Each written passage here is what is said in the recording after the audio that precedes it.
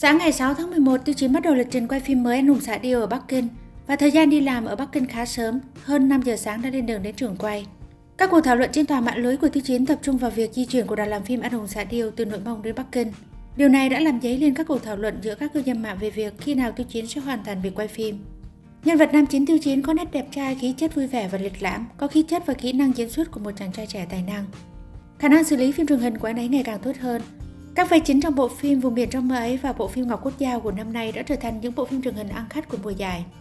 Một trong những thương hiệu sắp tới của Tiêu Chiến đã lặng lẽ càn quét trên Internet và trên thực tế nó đã bắt đầu một cách lặng lẽ vào tháng 9 năm 2023.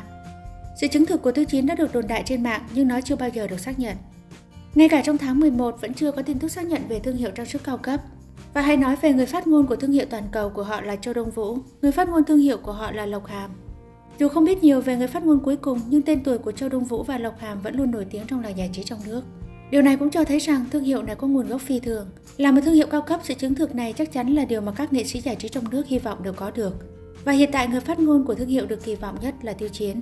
Trở thành làm người phát ngôn cho hàng xa xỉ phụ thuộc vào việc hình ảnh của chính nghệ sĩ có phù hợp với triết lý của thương hiệu hay không.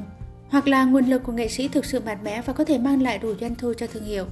Và nếu Tiêu Chín có thể hợp tác với thương hiệu này, điều đó vô cùng có lợi cho dân số bán hàng nội địa của thương hiệu và sự mở rộng hơn nữa của thương hiệu tại thị trường nội địa Trung Quốc. Tất cả mọi thứ đều phải chờ đợi đến ngày chính thức nó được công bố.